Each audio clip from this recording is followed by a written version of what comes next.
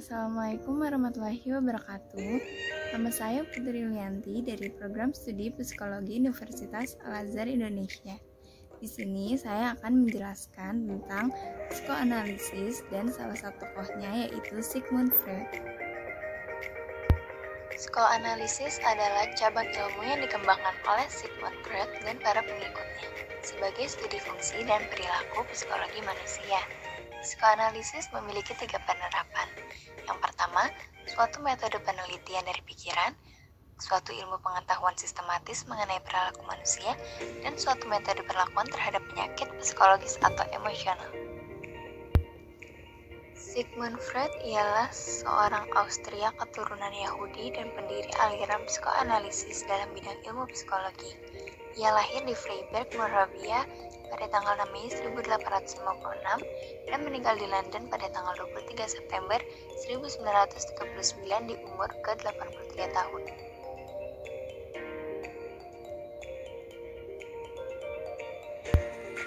Menurut Freud, pada tahun 1920-an, kehidupan jiwa memiliki tiga tingkat kesadaran, yaitu ada sadar, merupakan tingkat kesadaran yang berisi semua hal yang kita cermati pada saat tertentu.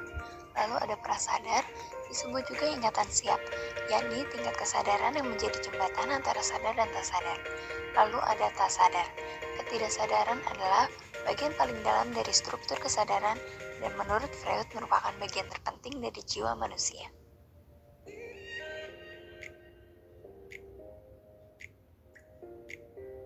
Dalam pengambilan keputusan seseorang, ada keterlibatan tiga hal dalam struktur kepribadian.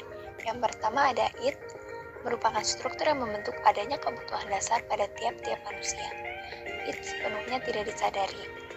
Lalu ada ego, merupakan struktur yang bekerja untuk memenuhi it, namun dengan cara tertentu. Ego berada di antara alam bawah sadar dan kesadaran. Lalu ada superego, tampil sebagai penengah dan juga pengontrol supaya ego tidak dikendalikan penuh oleh it. Superego berada di wilayah kesadaran. Freud menyatakan gagasan bahwa energi fisik bisa diubah menjadi energi psikis dan sebaliknya. Yang menjembatani energi fisik dengan kepribadian adalah id dengan nalurinya atau insting. Yang pertama ada insting, merupakan perwujudan psikologi dari kebutuhan tubuh yang menuntut pemuasan. Misalnya insting lapar berasal dari kebutuhan tubuh sebagai kekurangan nutrisi dalam bentuk keinginan makan. Insting terbagi menjadi dua yaitu hidup dan mati.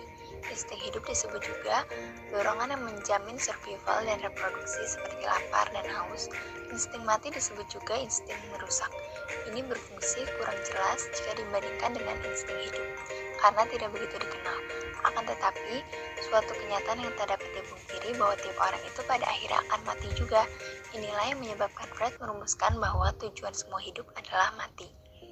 Yang lalu ada kecemasan.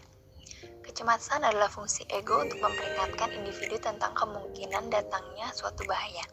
Biasanya reaksi individu terhadap ancaman, ketidaksenangan, dan pengrusak yang belum dihadapinya ialah menjadi cemas atau takut. Lalu, Freud mengartikan mekanisme adanya pertahanan ego sebagai strategi yang digunakan individu untuk mencegah kemunculan terbuka dari dorongan id maupun untuk menghadapi tekanan superego atas ego dengan tujuan agar kecemasan bisa dikurangi atau diredakan. Lalu ada lima fase. Yang pertama merupakan fase oral di usia 0 sampai 1 tahun. Pada fase ini, daerah yang paling penting dan peka adalah mulut yakni berkaitan dengan kebutuhan dasar akan makanan atau air. Lalu ada fase anal di usia 1 sampai 2 atau 3 tahun. Di fase ini, anak mulai diperkenalkan kepada aturan kebersihan oleh orang tuanya melalui toilet training, yakni latihan mengenai bagaimana dan di mana seharusnya seorang anak membuang kotoran. Lalu ada fase valis di usia 2 atau 3 tahun sampai 5 atau 6 tahun. Di fase ini, anak laki-laki ingin memiliki ibunya, ingin memiliki perhatian lebih dari ibunya, dan menyingkirkan ayahnya. Sebaliknya, anak perempuan ingin memiliki ayahnya dan menyingkirkan ibunya. Lalu di fase keempat ada fase laten di usia 5 atau 6 sampai 12 sampai 13 tahun. Di fase ini, anak menjadi lebih mudah mempelajari sesuatu dan lebih mudah dididik dibandingkan dengan masa sebelumnya. Lalu yang kelima ada fase genital. Fase ini dimulai dengan perubahan biokimia dan fisiologi dalam diri remaja. Sistem endokrin memproduksi hormon yang memicu pertumbuhan tanda seksual sekunder, seperti suara, rambut, buah dada, dan lain-lain. Berikut ini merupakan karya-karya dari Sigmund Sekian informasi yang bisa saya berikan, semoga bermanfaat. Kurang lebihnya mohon maaf. Wassalamualaikum warahmatullahi wabarakatuh.